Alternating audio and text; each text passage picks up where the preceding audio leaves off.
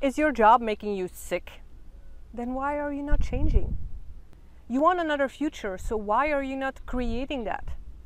You want more freedom, so why are you not going there? Because freedom is unknown. Freedom, the freedom you want, the other side, it's unknown. The dream you have, it's unknown. And the unknown, it's scary. It's very, very scary. So what do most people do?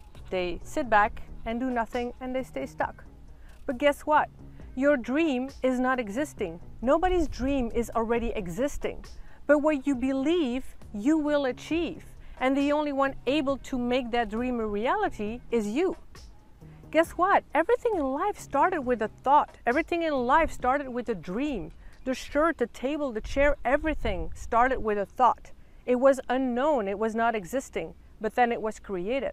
So the only one to create your dream future life is you. So, how do you pass that unknown? How do you go beyond that unknown? By taking steps.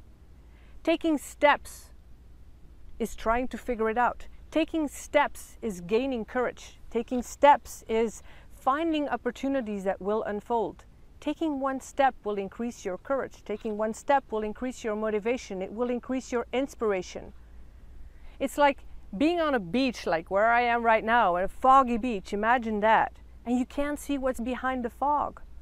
But how do you get behind the fog? How do you get to that future? It's by taking a step, always baby steps. Will you fall? Will you fail? Sure. A baby step. When a baby's starting to crawl and starting to take his first steps and it falls, do you get angry to the baby and like, oh, you stupid baby, you can't even walk? No. You fall, you get back up. You fall, you get back up. You take a left, you take a right but you keep taking steps towards your dream to make that dream a reality. Stop pretending that you want more freedom. Stop pretending you want more out of life. Start taking steps. Stop making excuses. Stop the, but I can't do that, but I'm not good enough, but they're better than me, but I'm not smart enough, but I'm too old, I'm too young, it's whatever.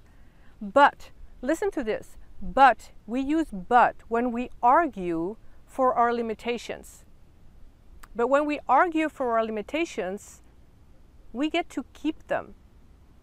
Let me repeat that. We use but when we argue for our limitations. And when we argue for our limitations, we get to keep those limitations. So stop using the but, stop using your excuses and start taking steps. Instead of, but I can't, but I'm not good enough. No, take the steps and go and do it and create that dream that you want the dream life that you want, the future that you want. So comment below, tell me the next step, the small step, the baby step that you can take towards your future life. And if you hesitate how to shift that mind from I can to I can, then take that PDF, it's a free download right below. I'll put the link right below, check the resources, or talk to me. Just check the resources below and comment below what is your next step, small step towards your dream life. You can do this.